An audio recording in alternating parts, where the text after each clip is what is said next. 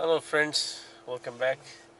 So today uh, I'm gonna go out by the river or find a good spot where I can do time lapse uh, of sunset and we will do some vlogging. Let's explore the nature. Let's go. Okay, and this park is uh, Rotary Park by the river where we are time lapsing right now.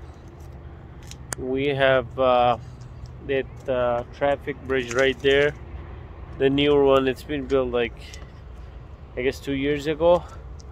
It was there long time before, but it got collapsed by a boat. I heard a story, which I don't know exactly what happened, but a boat was passing underneath it and it was too low or the boat drifted or something happened and the bridge got collapsed.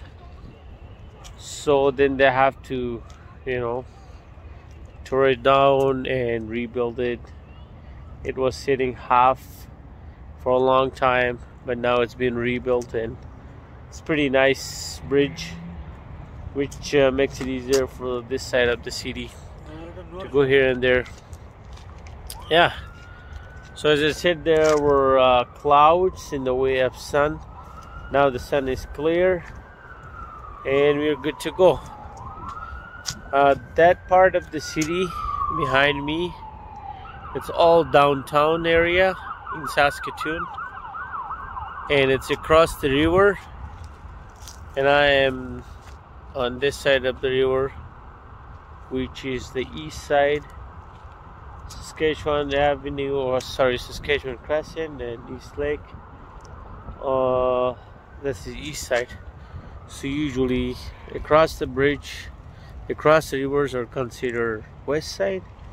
This part is considered east side. There is some west side uh, blocks but there are very few. And yeah here we are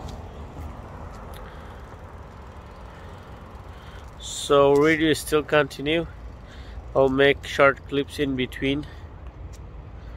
And if you guys have any questions about my video or any content about anything you guys can comment below and I'll try my best to answer and get the information the right information for you. So this is a Rotary Park. As you guys can see Rotary Park